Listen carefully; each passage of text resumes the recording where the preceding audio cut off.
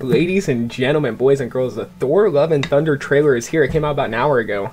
Uh, went and got some food. I freaking come back and I see this. So I guess this is going to be my morning. Let's uh, react to it. It's a minute and a half, so it's not very long. But it should be good nonetheless. It should be exciting to see. And, uh, I mean, it's one I'm looking forward to, but I want to see how female Thor looks. So, alright, let's do the damn thing. Alright, three, two, one.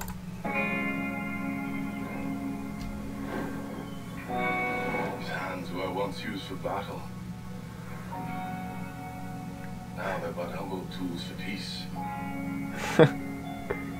I need to figure out exactly who I am.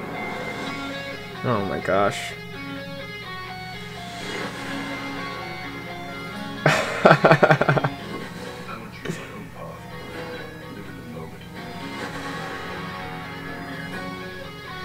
Uh, this is obviously beginning of the movie when he's with the Ravagers. The days are over. Oh my gosh. Wow. This looks eccentric, I won't lie. Zeus.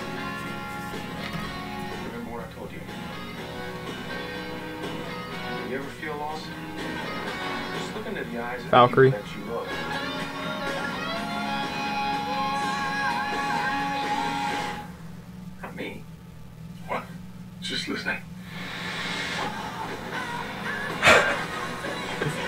Wow, really? Where's female Thor, dude?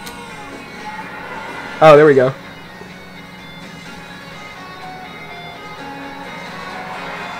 Oh my gosh, dude. Uh, hold up a sec. That's crazy. That's Natalie Portman. It doesn't really look like her. I don't know, guys. I don't know. We'll see. We'll see. But uh, the rest of the trailer was pretty funny. It's definitely different. They're making Thor very, very funny and uh, eccentric. Just going back to the trailer a little bit, but yeah, they're definitely making Thor like very eccentric and funny. It's almost giving me very much Guardians of the Galaxy vibes. It's that's funny though, seeing Chris Pratt like, oh my gosh, he's ripped again. But it looks good. It looks good, guys. We're gonna see how it goes. They didn't even show Christian Bale's Gorr or anything like that. I don't think they need to. Marvel's such a brand now. They don't even have to go too hard. But yeah, let me know what you guys think about this. Um, that's really all I have for this reaction, and uh, we'll see how female Thor turns out. But yeah, guys, until the next video, be safe and stay well.